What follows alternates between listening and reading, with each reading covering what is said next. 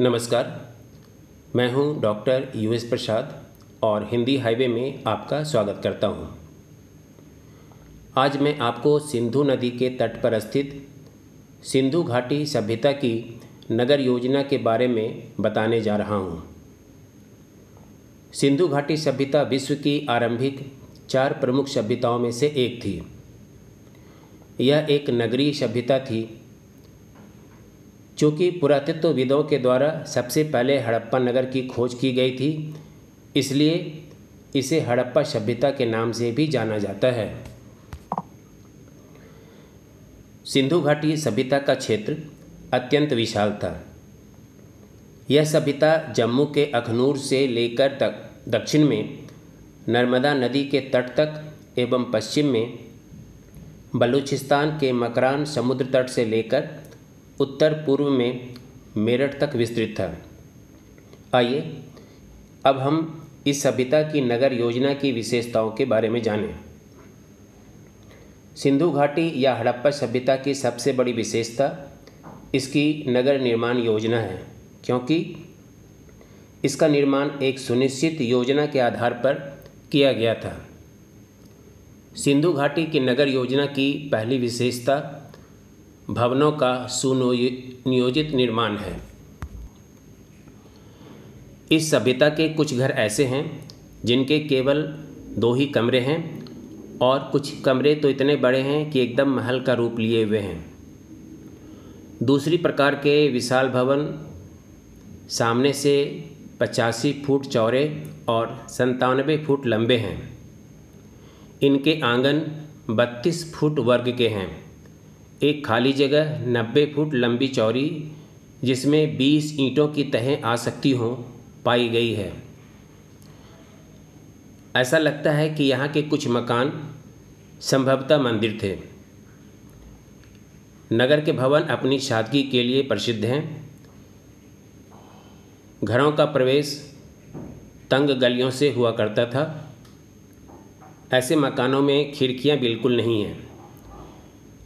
ऐसा लगता है कि कुछ कमरों को सुरक्षा की दृष्टि से बनाया गया था। साझी दीवारें बहुत कम देखने को मिलती हैं। दो मकानों के बीच की जगह को ईंटों से भर दिया जाता था। दीवारें काफ़ी मोटी हैं। संभव है कि यहाँ के भवन एक से अधिक मंजिलों के रहे हों। सीढ़ियों के नीचे कोई खाली जगह नहीं है। सीढ़ियाँ ऊँची और तंग हैं। यहाँ के भवनों का जैसा निर्माण किया गया है, इससे यह अनुमान लगाया जा सकता है कि यहाँ के लोगों में पर्दे की प्रथा नहीं थी। इस सभ्यता की दूसरी विशेषता यहाँ की सड़क व्यवस्था थी। इस सभ्यता की एक प्रमुख विशेषता, जिसे हम सड़क व्यवस्था के नाम से जानते हैं इसे इसलिए विशेष कहा गया है कि यहाँ की मुख्य सड़क नौ दशमलव पंद्रह मीटर चौड़ी थी, जिसे पुराविदों ने राजपथ कहा है। अन्य सड़कों की चौड़ाई दो दशमलव पचहत्तर से तीन दशमलव छियासठ मीटर मीटर तक थी। जाल पद्धति के आधार पर नगर नियोजन होने के कारण सड़कें एक दूसरे को समकोण पर काटती थी जिनसे नगर कई खंडों में बट गया था। इस पद्धति को ऑक्सफोर्ड सर्कस का नाम दिया गया है। सड़कें मिट्टी की बनी थी एवं इनकी सफ़ाई की समुचित व्यवस्था की गई थी। कूड़ा इकट्ठा करने के लिए एक निश्चित दूरी पर गड्ढे खोदे जाते थे या कूड़ेदान रखे जाते थे। इस सभ्यता में एक सड़क के दोनों किनारों पर चबूतरों के बने होने के प्रमाण मिले हैं। शायद इन चबूतरों पर बैठकर दुकानदार वस्तुओं की बिक्री करते रहे होंगे। सिंधु या हड़प्पा सभ्यता के नगर योजना की तीसरी प्रमुख विशेषता यहाँ की जल निकास प्रणाली थी। सिंधु घाटी के लोग नालियों के निर्माण में अत्यंत निपुण थे। गली कूचे में जल के निकास के लिए ईंटों की नालियाँ हैं। इनकी लंबाई चौड़ाई विभिन्न प्रकार की हैं। कुछ नालियाँ नौ इंच चौड़ी और एक फुट गहरी हैं, लेकिन कुछ इससे दुगनी बड़ी हैं। ये नालियाँ ईंटों से ढकी हैं और आवश्यकता अनुसार उन्हें हटाया जा सकता है। बड़ी नालियाँ पत्थरों से बनी और ढकी हैं। बरसाती पानी और घरों के मलमूत्र के बहने के लिए मलकूप बने हैं। लंबी नालियों में कुछ कुछ दूरी पर छेद बने हैं ताकि उन्हें आसानी से साफ़ किया जा सके। नालियों से निकला हुआ कूड़ा शायद वहीं से हटाया जाता होगा। लेकिन खुदाई के समय यह ज्यों का त्यों नालियों के पास पड़ा हुआ पाया गया है, इसलिए यह भी अंदाज़ा लगाया जा सकता है कि शायद कूड़े की सफ़ाई नियमित रूप से नहीं की जाती थी। नालियों के मोड़ों पर तिकोनी ईंटों का प्रयोग होता था। जहाँ पे दो नालियाँ मिलती थी, वहाँ पर ईंटों से द्वारा निर्मित गड्ढे बने हैं। वर्षा और तूफ़ान के द्वारा एकत्र जल को नगर से बाहर निकालने के लिए पक्की ईंटों की ढकी नालियाँ बनी हैं। ये नालियाँ ज़मीन के नीचे हैं। प्रायः नालियाँ कुओं के पास गुजरती हुई बनाई गई हैं। इस प्रकार कुओं के जल के गंदा होने का भय भी बना रहता था। नालियों की इस प्रकार की अद्भुत विशेषता किसी अन्य समकालीन नगर में देखने को नहीं मिलती है। हड़प्पा सभ्यता की चौथी प्रमुख विशेषता वहाँ के विशाल स्नानागार हैं। यहाँ के विशाल स्नानागार विशेष रूप से देखने लायक हैं। यह चौरस है और उसके चारों तरफ़ बरामदा है। यह भी ईंटों का बना है। बरामदे के पीछे कमरे और रास्ते हैं।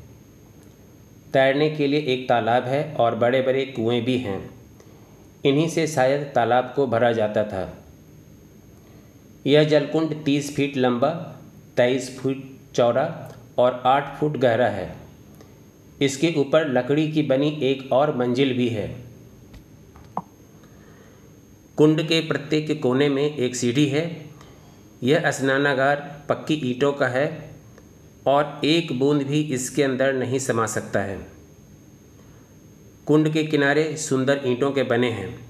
ये चार फुट मोटे हैं और ईंटें खड़िया मिट्टी के साथ लगाई गई हैं।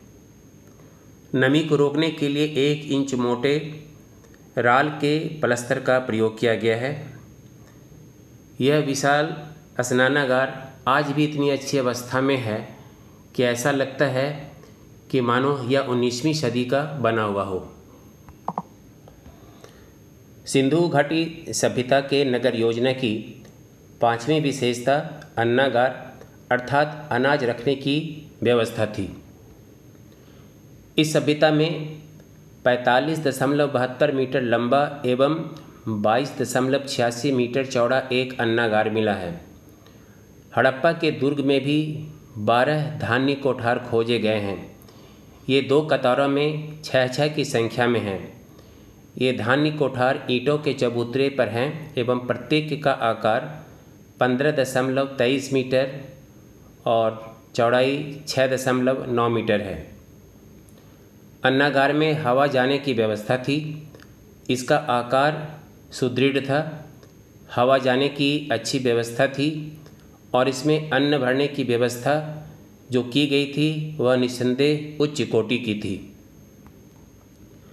सिंधु या हड़प्पा सभ्यता में पकाई हुई ईंटों का प्रयोग भी एक विलक्षण विशेषता है। ईंटें चतुर्भुजाकार होती थी। उल्लेखनीय बात यह है कि समकालीन मिस्र की सभ्यता में भी पकी ईंटों के स्थान पर धूप में सुखाई गई ईंटों का प्रयोग होता था।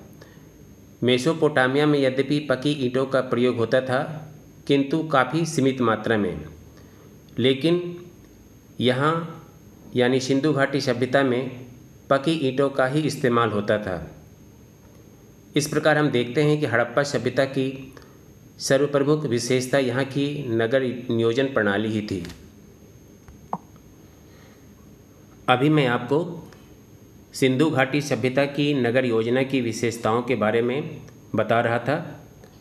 निष्कर्ष रूप में यह कहा जा सकता है कि ये विशेषताएँ हमारे लिए आश्चर्य का विषय है कि आज से लगभग साढ़े चार हज़ार वर्ष पहले के लोग नगर नियोजन के प्रति कितने जागरूक थे। आज हमारे महानगरों में भी वे विशेषताएँ दिखाई नहीं पड़ती।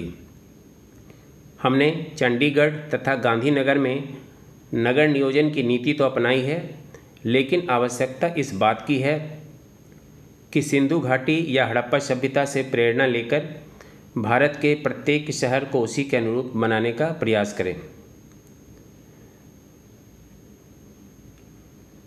मैं ऐसा समझता हूँ कि सिंधु घाटी की नगर योजना की प्रमुख विशेषताओं को आपने समझ लिया होगा। और अगर आपको मेरे वीडियो पसंद आ रहे हों तो आप उन्हें लाइक करें, शेयर करें और मेरे चैनल को सब्सक्राइब करना ना भूलें। हाँ एक बात और। मेरे वीडियो से जुड़े कमेंट्स या अपने सवाल आप मुझे स्क्रीन पर दिखाए गए जीमेल पर भेज सकते हैं। धन्यवाद।